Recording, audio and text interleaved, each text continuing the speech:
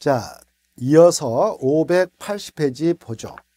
580페이지에서는 몇 가지를 체크할 게 있는데요.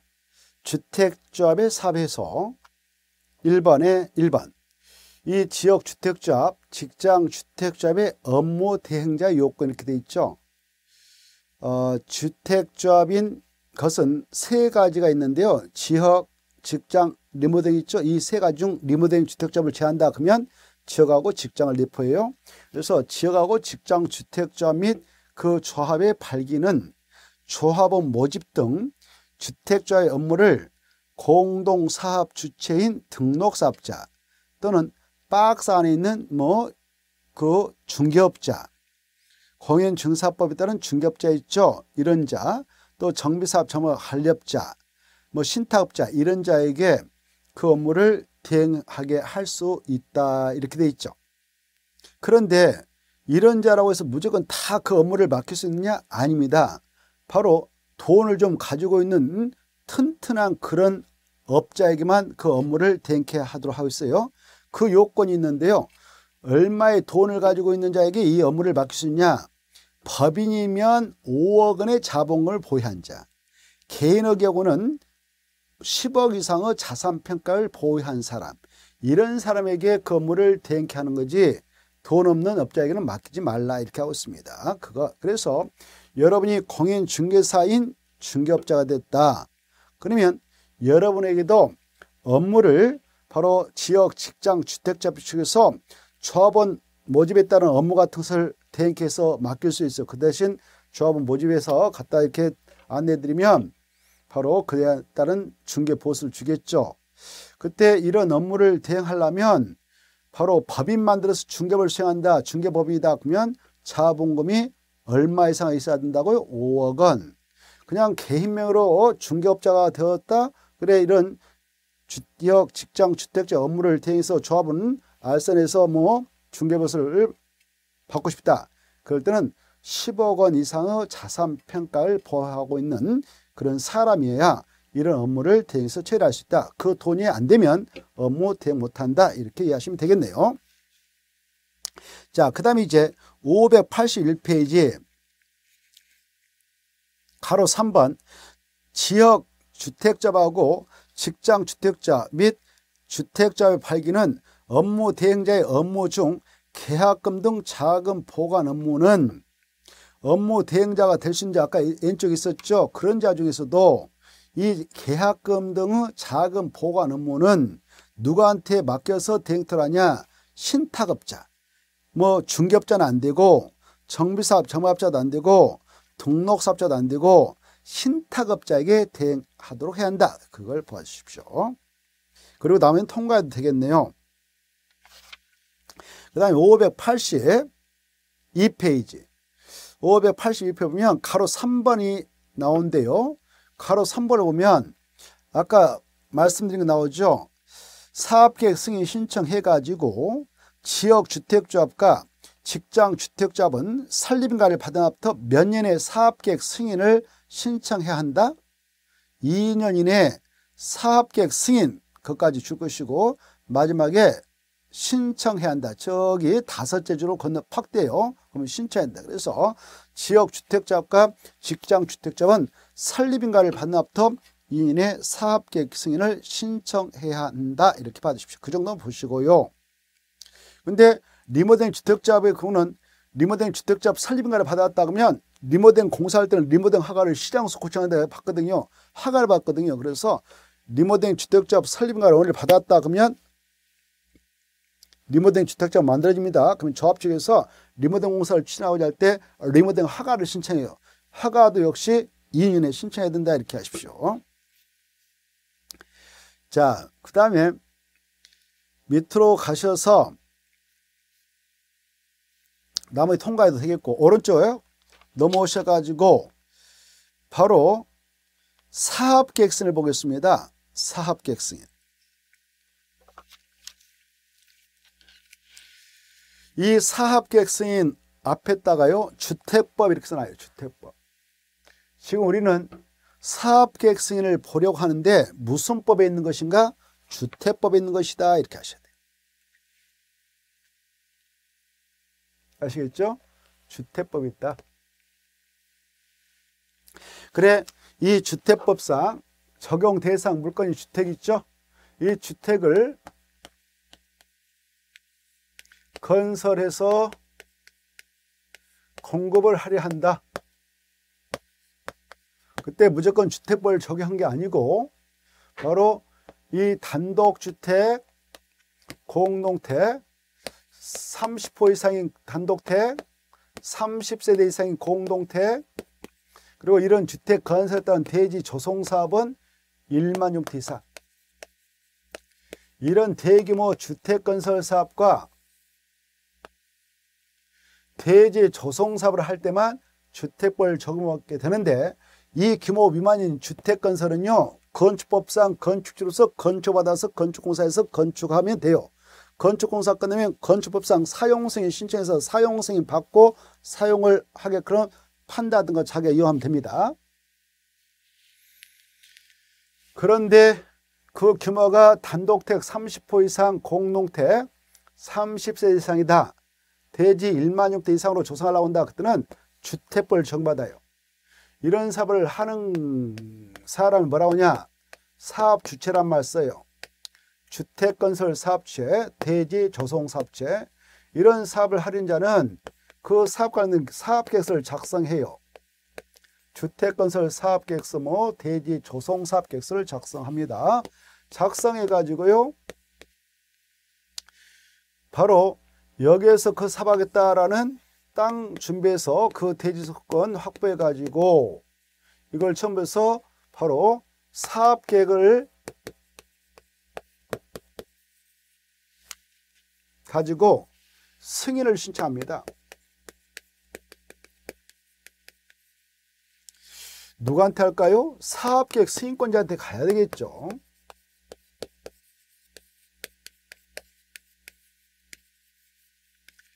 사업계획 승인권자는 바로 이러한 사업을 하려는 자가 국가일 수도 있고요.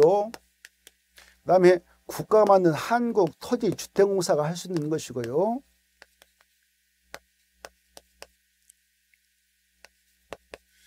그 다음에 지방 자치단체가 할 수도 있고요. 지방 자치단체 만든 지방공사가 할 수 있는 것이고 또 민간업자인 등록사업자가 할 수도 있는 것입니다. 또 이 등록사업자고 뭐 주택자를 손잡고 할 수도 있겠죠. 이때 이자가 사업한다. 국가 한국토용사 이 국가 나오죠. 국자 한국할 때 국자나 이 국고기가 사업한다. 그때는 사업계획 승인권자가 바로 국토교통부장이 돼요. 이렇게. 그래서 국토교통부장한테 가서 승인받고요.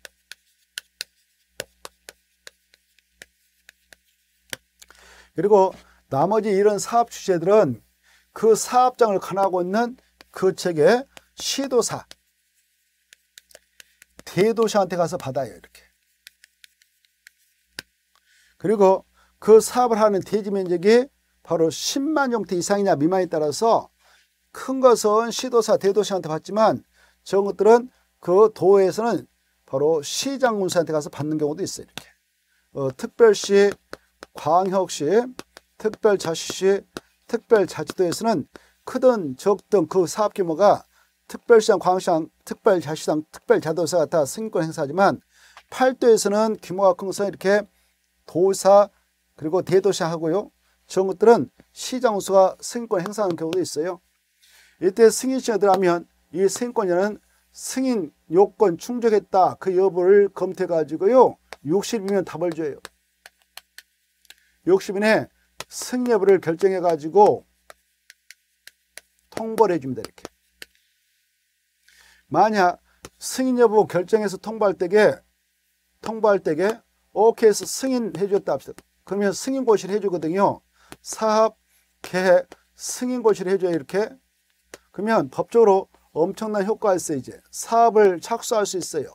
그리고 바로 국, 이 공적 주체가 사업한다. 그것이 군택 건설 사업, 그에 따른 대지 조성 사업이다. 그러면 바로 어, 그 수용권도 발동될 수 있도록 하고 있고요. 그리고 여러 가지 관계 법률에 따른 인허가를 받은 걸로 간주해서 절차의 간섭을 기해주기도 합니다. 그래 이제 승인 고시가 들으면 사업에 착수할 수 있어요. 이렇게. 열심히 이제 사업, 주택건 사업은 주택을 건설할 것이고 대지 조성 사업장이다 하면 대지를 열심히 조성할 겁니다. 이렇게. 사업에 들어가는데 이때 사업계획 승인 고시가 떨어지면 원칙은 5년에 들어가라 이렇게 하고 있어요. 정당한 사유가 있어서 5년에 들어갈 수 없는 정당한 사유 있으면 1년 착수가 연장을 받을 수 있다 이렇게 돼 있어요. 이 기간 내에 안 들어가면 승인을 취소할 수 있다 이렇게 돼 있습니다. 자 그리고 이 사업계획서를 받을 때 그 단지가 전체 세대수가 600세대 이상이다 그러면 공고별로 109, 209 이렇게 나눠가지고 할 수 있어요. 그래서 공고별로 분할해 주택을 건설 공부하겠다라고 사업계획서를 받아가게 되면 사업계획 승인 고시 떨어지고 나서 최초 공고는 5년에 들어가면 되고 다음 거는 최초 공고 착공시부터 2년에 들어가면 돼요. 이런 것들이 쭉 나옵니다. 그래서 이제 공사 열심히 해가지고 다 딱 끝났다. 사업 끝났다.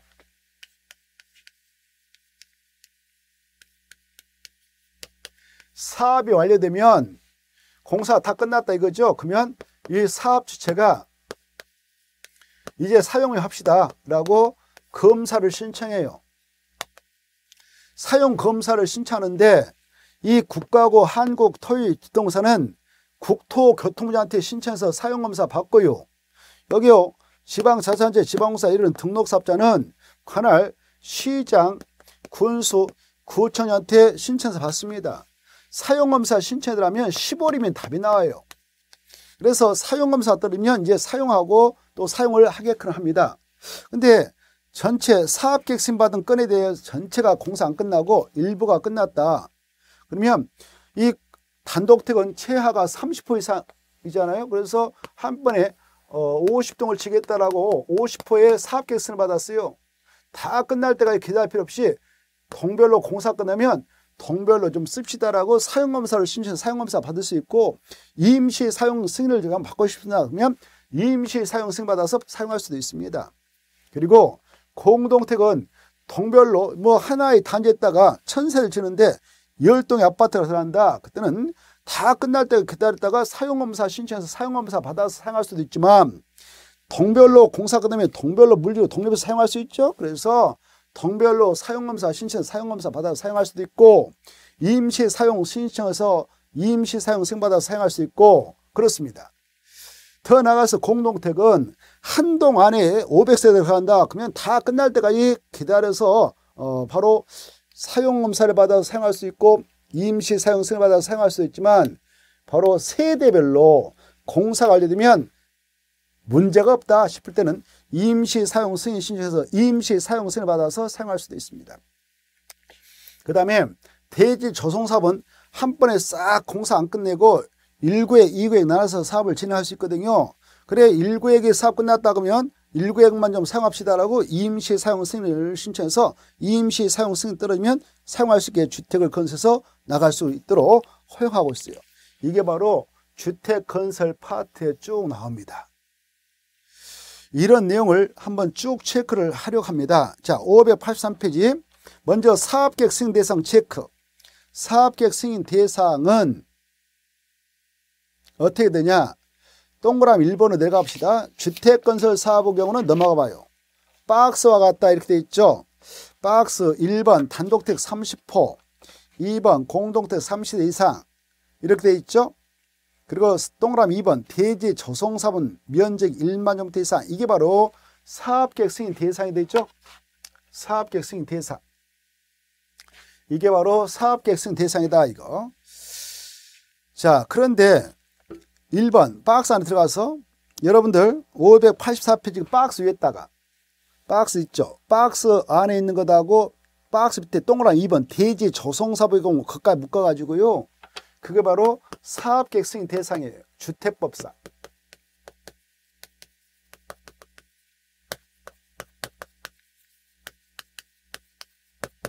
사업계획 승인 신청해서 승인을 받아야 사업을 할 수 있다 이 말이죠. 그래서 단독택 원칙 30% 이상인데 다음 어느 하나에 해당하는 주택의 경우는 50% 이상부터가 사업계획 승인 대상이다. 그 중에 나번만 받으시 한옥, 한옥은 50% 이상. 만약 여러분이 단독택을 친데 30% 미만, 한옥 50% 미만이다 그러면 건축법상 건축가 신청해서 허가 받고 건축하고 공사 끝나면 건축법상 사용승인 신청해서 사용승인 받으면 사용할 수 있습니다. 2번 공농택은 30세 이상 다만 다음 어, 경우에는 50세대 이상으로 한다 이렇게 돼 있죠. 자, 그 밑에 보면 가 나 해가지고요. 가 그 세대별 주거 전면적이 30제곱미터 이상이고 해당 주택단지 진입도 폭이 6m 이상인 경우로서 단지형 연립 주택, 단지형 다세대 주택 건설할 때는 50세 이상이 사업계획 승인 대상이다. 이 정도만. 그리고 다음에 통과하고요.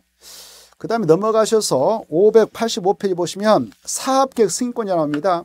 사업계획 승인권자 조금 전에 말씀드렸죠. 사업계획 승인권자에서 동그라미 1번 이 보면 주택건설 사업 대지 조성사업을 하려는 대지 면적이 10만 제곱미터 이상이다 그러면 바로 시도사 대도상이 사업계획 승인권자이고 미만이면 2번 특광 특특 시장 군수가 승인권 행사한다. 3번은 중요해요. 국토교통부 장관이 사업계획 승인권자인 경우는 국가 할 때 국, 한국 토일 주택공사 할 때 국, 꾹꾹이가 사업한다 그러면 국장한테 국한테 간다. 또 니은, 디귿, 리을도 국토교통부장한테 승인받아야 된다. 니은은 포인트가요. 330만 종대 이상인 규모로 택지발 사업, 도시발 사업을 추진한 지역 중 그 다음에 줄 거예요. 국토교통부 장관이 지정 고시한 지역에서 그 말.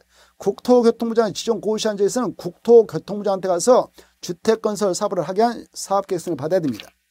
니은 수도권 광역시 지역의 긴급한 주택난 해소 필요지역 지역 균형 개발 광역적 차원의 조정이 필요하여 그 다음 줄 거예요. 국토교통부 장관이 지정 고시한 지역에서 주택건설 사업을 시행한다. 그때도 국토교통부 장한테 가서 승인받아야 됩니다. 특히 리을 이 국지공이 나오죠. 국가 지자체 주공, 지공 이네들이 단독 공도로 총 지분 50% 초과하여 그따 체크해 출자한 위탁관리 부동산 투자회사가 바로 공공주택 건설 사업을 시행한다. 그때는 국토교통부 장관에게 승인을 받아야 된다. 그래 국토교통부 장한테 승인을 받아야 할 경우가 그와 같다. 꼭 받으시고 그 다음에 586회 보면은 밑에 심화가 나옵니다.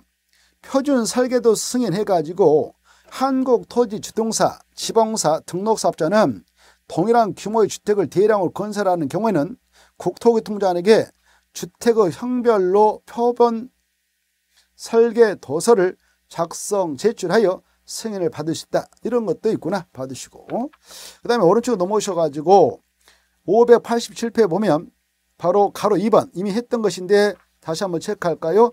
전체 세대수가 600세대 이상인 주택 단위는 공고별로 분할의 주택을 건설 공부할 수 있다. 이 정도만 딱 잘라서 보시고 그 다음에 가로 3번 통과하고요.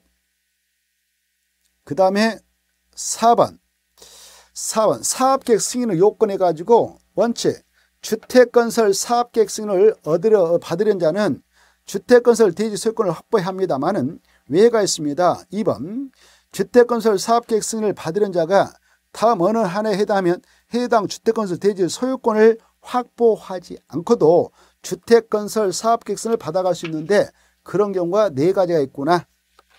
네 가지를 잘 받으세요. 1. 사업 주체가 주택건설 대지 소유권을 아직 확보하지 못했지만 땅 주인들한테 사용권을 확보했다면 소유권을 정시로 확보하지 않는 그런 경우에도 주택건설 사업계획 승인을 내줄 수가 있다 이거죠. 이런 거죠. 지금 모 사업체가 이렇게 주택건설 사업을 하려고 하는데 승인 신청을 받아야 되겠어요. 근데 이 땅 주인이 A입니다. 땅 주인은 A인데 이 사업을 하고자 하는 사업체는 자 갑이라 합시다. 이 땅값이 100억인데요. A한테 100을 다 주면 소유권 넘겨받았겠지만 아직 100억이 제대로 준비 안 돼서 계약 매매 계약 체결하고 A에게 계약금 10억을 일단 준 다음에 야 사용성 낙서 하나 써주라. 그래서 그걸 가지고 주택건설 사업계획 승인을 신청했다. 승인 받고 나서 90억은 나머지 줄 테니까 그때 줄 테니까 일단 10억 계약금 받아가고 사용 승낙서라도 좀 써주라. 그러면 그걸 사용 권이라는데 이런 사용 권한만 확보해서 주택 건설에 따른 사업계획 승인을 신청할 수가 있습니다. 그러면 바로 그 서류 보고 주택 건설 사업을 진행해 나도록 승인을 받아갈 수 있는 것이죠. 사업계획 승인받았다. 주택건설 사업계획 승인을 신청해서 받아왔다 합시다. 받아왔다 해서 바로 공사 들은 거 아니죠? 몇 년에 들어가면 되냐? 5년에 주택건설 공사에 착수하면 돼요. 정당한 사유였으면 또 1년 연장받을 수 있습니다. 그 기간 내에 나머지 잔금을 줘가지고 소유권 넘겨봐도 되니까 이런 규정을 두고 있다. 이렇게 이해하시면 되겠죠. 사업 주체가 주택건설 대지의 소유권을 확보하지 못하였으나 그 대지 사용 권한을 확보했다면 그때는 주택건설에 따른 사업계획서를 신청할 수 있다. 그 대지단 소유권을 아직 확보하지 못했다 하더라도 신청해서 사업계획서를 받을 수 있다 이거죠. 2번 이 국가 지방자치단체 한국토지동사 지방사 그네들에게만 이 주택법에서는 그 네 명 있죠. 국가 한국토지동사 지방자치단체 지방사 네 명에게는 바로 수용권을 인정합니다. 강제로 땅을 수용할 수 있는 수용권을 인정해. 그것도 군택 건설 사업 그에 따른 대지 조성 사업을 하게 될 때는 수용권을 인정해 버리니까 굳이 대지세권을 확보하셔도 됩니다. 굳이 대지세권 확보하셔도 됩니다. 2번은 그런 거다 이렇게 이해하시면 돼요. 자, 그 다음에 이제 바로 3번을 보겠는데 국토의 계획 및 이용에 관한 법률에 따른 지구 단위계 결정이 필요한 주택건 사업에 그건 중요해요. 3번은. 지구 단위계 결정이 필요한 주택건설 사업에 해당 대지 면적의 80% 이상의 사용권을 확보했다. 등록사업자 공동으로 사업을 시행하는 주택조합의 경우는 95% 이상의 소유권을 확보했다. 그러면 확보하지 못한 대지가 매도 청구 대상이 되는 대지에 해당하면 100% 대지세권 확보하지 않고도 주택 건설을 하기 위한 사업계획 승인을 신청해서 승인을 받아갈 수도 있다 이거죠. 그때 매도 청구는 오른쪽에 있죠. 오른쪽 페이지 봐봐요. 589페이지 매도 청구가 있는데 고려 하살표 보내요. 동그라미 3번 있죠. 588페이지 동그라미 3번 매도 청구 있죠. 매도 청구는 이 사업 주체가요. 주택건설 사업을 하는 사업체가 야 땅 팔고 나가 이게 바로 매도 청구예요. 그때 사쪽으로 와서 나가 이렇게 한 게 아니라 법원에 따라 매도 청구 소장을 내 가지고 판결 받아서 내쫓는 것이 매도 청구입니다. 그게 바로 이어서 589페이지 매도 청구 나와 있죠. 이 589페이지 매도 청구는 중요해요. 자, 가로 1번 매도 청구 대상 해가지고 보니까 지구 단위계 결정이 필요한 주택건 사업에 해당 대지 면적의 80% 이상을 사용할 수 있는 권을 확보하여 사업계획서를 받아 사업체는 그때 그때 사업계획서는 주택건설 사업계획서입니다. 사업계획서를 받은 사업체는 다음에 따라 해당 주택건설 대지 중 사용할 수 있는 권을 확보하지 못한 대지하고 건축물의 소유자에게 그 대지하고 건축물 둘 다 시가로 매도할 것을 청구할 수 있다 이렇게 돼 있죠. 시가 동함이 대지 건축물 포함 그것다 체크. 이걸 매도 청구할 수 있다 체크. 매도 청구 대상이 되는 대지 소유자와 매도 청구를 하기 전에 3개월 이상 협의를 해야 한다. 매도 청구 소원은 법원에 따는데 법원으로 가기 전에 미리 당사자 간에 좀 3개월 이상 사고 팔기 한 협의를 꼭 해라. 그래서 땅 주인이 매매가를 통해서 팔겠다면 그걸로 끝내면 되잖아요. 그렇게 일단 노력해보고 그래도 땅 주인이 끝까지 설권 안 내놓으면 매도 청구 소송을 내라 그 말입니다. 그래서 매도 청구를 하려면 미리 몇 개월 이상 협의를 하도록 의무를 가고 있냐? 3개월 그것 다 체크하시고 자 이때 주택건설 대지 면적 중 95% 이상에 해당하는 땅에 대한 사용권을 확보했다. 그런 상태라면 사용권을 확보하지 못한 대지의 모든 소재의 매도 청구가 가능하다. 모든 했다 체크해요. 모든 소재의 매도 청구를 하면 95% 이상의 사용권을 확보해가지고 승인을 받아온 자야 된다. 95%못 채웠어요. 80% 이상의 사용권을 얻었는데 95% 미만 호밖에 사용권을 확보하지 못했다. 그런 상태에서 주택건설 사업계획 승인을 신청해서 승인 받아왔던 사업주는 반대파에게 모두 다 팔고 나가라 이렇게 할 수 없고 그 말입니다. 2번은 그거예요. 1A의 경우 1A의 경우 그 말은 90% 미만인 경우예요. 90% 미만만 사용권을 확보했다. 그랬을 때는 사용권을 확보하지 못한 대지의 소유자 중 지구 단위계 결정고 시일 10년 이전에 해당 대지 소유권을 취득하여 계속 보유하고 있는 자 가로 건너뛰어서 그 자를 제한 소유자에게만 매도 중과 가능하구나. 이렇게 돼 있죠. 자, 그게 뭐냐면은 이런 겁니다. 이 지구 단위계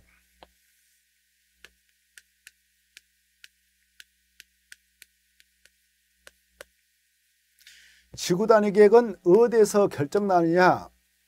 바로 지구 단위 계획 구역에서만 결정나죠. 그래서 지구 단위 결정난 장소에서 삽한다 그 말은 그 구역이 지구 단위 계획국이라는 것을 암시하고 있어요. 그래 지구 단위 계획국을 지정 고시했다 합시다. 그 안에서 주택건 사업합니다. 이 계획에 따라. 그런데 여기 땅 주인들한테 이 사업체가요. 일단 땅 주인들 만나서 매매계약 체라고 계약금 주고 사용 승낙서 받아요. 그러기를 80% 이상 일단 받아왔다. 사용 권한을. 그러면 사용 권은 80% 이상 얻어가지고 여기다 주택 건설 하겠습니다라고 사업계획 승인 시하면 승인 내주겠다는 겁니다. 승인을 받아왔습니다. 그러면 그 사업체는 여기 땅 주인들 중에 바로 아예 사용권을 확보하지 못하게끔 나 땅 소유권 내놓을 수 없다 이런 자가 있다면 바로 그 자들은 매도 청구서 보내버려라 이렇게 하고 있죠. 그때 사용권을 확보할 때에 이 안에 땅 대비 95% 이상을 확보했다. 95% 이상의 사용권을 확보해 가지고 주택 건설에 따른 사업계획서를 받은 사업체는 이 안에 있는 반대파 5% 미만도 안 되죠. 그네들에게 야 다 팔고 나가 이렇게 모든 소유자에게 모든 대지 소유자에게 사용권을 확보하지 못한 모든 소유자에게 매도 청구서 보내도록 허용합니다. 근데 95% 이상을 채우지 못했어. 80% 이상의 사용권을 확보했는데 95%는 못 채웠다. 이 사이다. 그러하더라도 주택 건설을 하기 위한 사업계획서를 시하면 일단 사업계획서를 받아옵니다. 사업계획서를 받았던 사업주는 바로 사용권을 확보하지 못한 모든 대지소에게 매도 청구할 수 없고 이 지구 단위 계획구역을 오늘 지정 고시했다 가져다 그날 기준에서 소급해서 10년 이전에 이미 소유권을 가지고 있는 자들은 알바기에 들어갔다고 볼 수 없기 때문에 그네들 걸 제하고 10년이 못된 자인 반대파급만 매도 청구할 수 있다라는 차이를 두고 있어요. 이걸 좀 잘 이해해 두시고 자, 그 다음에 588페이지 4번 보면은 동그라미 4번 리모딩 결의를 한 리모딩 주택자비 매도 청구를 하는 경우 이때도 결의에 찬성하지 않는 자들의 대지 지분은 매도 청구할 수 있다 이겁니다. 자, 그 다음에 어디를 좀 보시냐면은 588페이지 가로 3번 계획과 승인 기준에서 동그라미 1번을 읽어 두십시오. 이 주택건설 사업을 한다. 그때 사업계획서 짠다고 그랬죠. 사업계획은 쾌적하고 문화적인 주거생활을 하는데 작업하도 수립돼야 하고 그 주택 건설을 하겠다는 사업계획에는 부대설, 봉설 설치하는 계획이 꼭 포함된다 봐두시고 2번 사업계획 승권자는 사업계획 선할 때 사업체가 지출한 사업계획에 해당하는 주택건 사업, 대지 조성사업과 직접적으로 관련이 없거나 과도한 기반세, 뭐 도로 좀 설치해서 내놔라, 공원 좀 설치해서 내놔라, 공짜로 이렇게 과도하게 기반 기부 체납을 요것은 안 된다. 여기 받으시고 넘어가십니다. 590페이지 보면 아까 강조했던 거 나옵니다. 가로 1번 승인 여부 결정은 60일 그거 받으시고 그 다음에 통과 통과하고 어 591페이지 사업계획 승인이 떨어지면 바로 여러 가지 관계 법률에 따른 인허가를 받은 걸 의제 처리해서 절차에 간섭을 개한다고 했죠. 그게 박스 안에 1번하고 5, 5, 3번 받으세요. 사업계획 승인을 받으면 건축부상 건축허가 등 국토개발상 개발행 허가 등 받은 거 간주한다.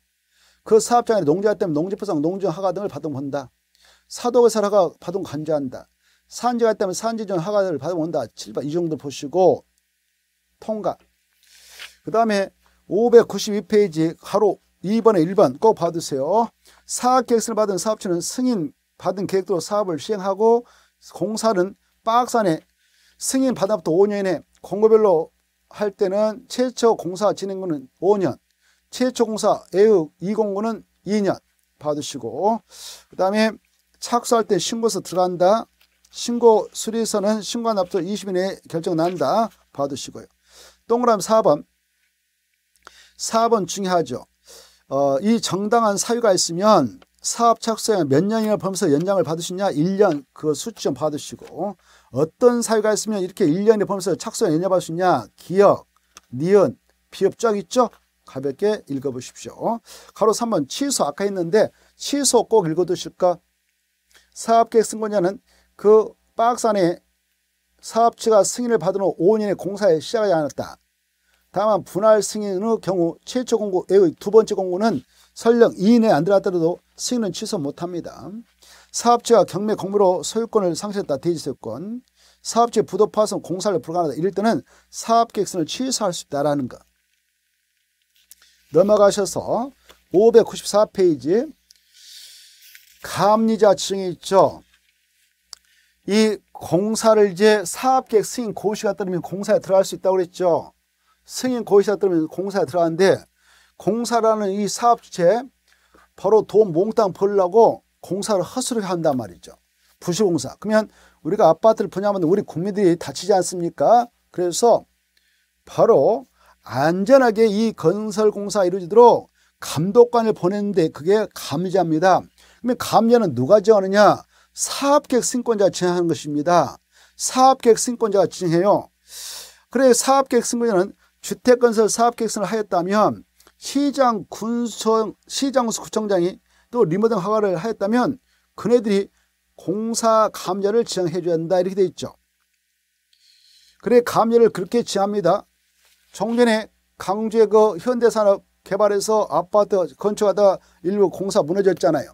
그 사람 인명피해가 여섯, 여섯 분 지금 그런데 그 강주 광역시장이 사업계획서를 내줬습니다. 강주 광역시장이 바로 감열을 정해서 보냈습니다. 그러면 그 책임을 누가 져야 되겠습니까? 강주 광역시장이 책임을 지고 물러나든가 그래야 되지 않겠습니까? 근데 책임을 안 집니다. 이 자들이. 그러니 이게 일이 제대로 돌아가겠습니까? 안 들어가죠. 그래서 그런 사고에 대한 책임은 강주광시장 이런 사업계획 승인권자하고 감리를 정했던 강주광시장이 져야 되는데 지지를 안 해요. 얘네들이. 그러니까 계속 없는 공사하고 계신 분만 다쳐서 돌아가시죠. 이래가지고는 절대 문제가 해결되지 않겠죠. 근데 이걸 잘 해결을 못하고 있습니다. 엉뚱한 데만 막 수사하고 잡아도 그래요. 그래봐야 백날, 백날 해봐야 답 없습니다.